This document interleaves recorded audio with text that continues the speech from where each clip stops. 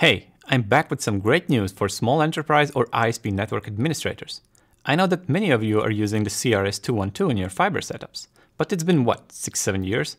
I think we can all agree it's time for an upgrade. With a modern CPU, 4 times the RAM, double the switching capacity, better cooling, the list goes on. Ladies and gentlemen, I give you the CRS310.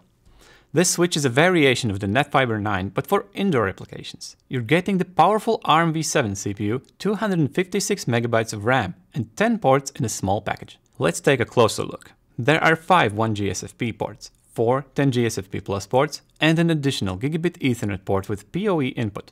This Gigabit Ethernet port has a direct connection to the switch chip, so you can expect full speed. It's not just for management purposes.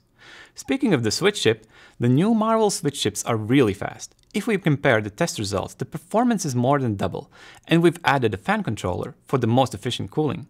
So you can really push the hardware to its limits.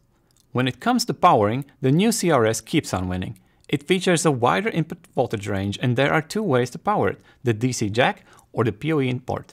Very handy for tight spots. Another cool addition, the 1U rack mount ears. You can mount this switch in a rack to keep everything organized. And let me tell you, the switch has definitely earned its place in the rack.